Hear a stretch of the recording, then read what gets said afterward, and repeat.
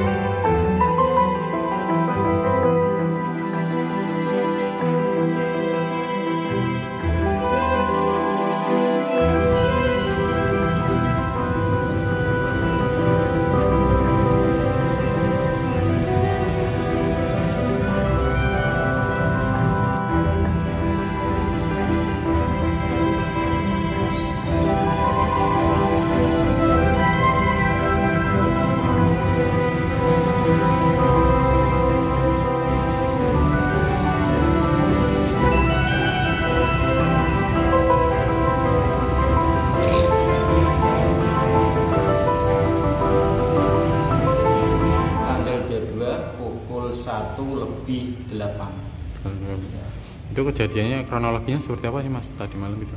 Eh, ada pelanggan eh, mau ngisi BBM Pertalite.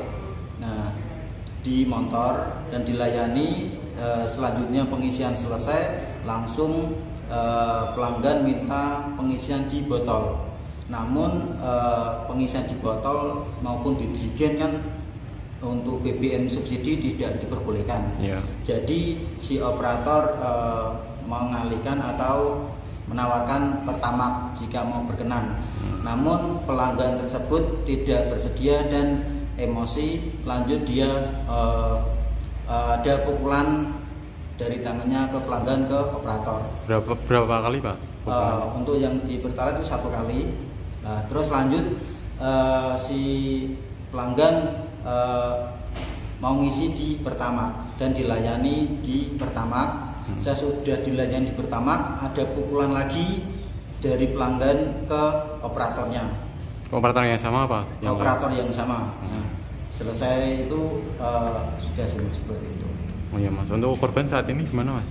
Untuk korban sementara informasi eh, baru di Polsek Pedulungan. Iya.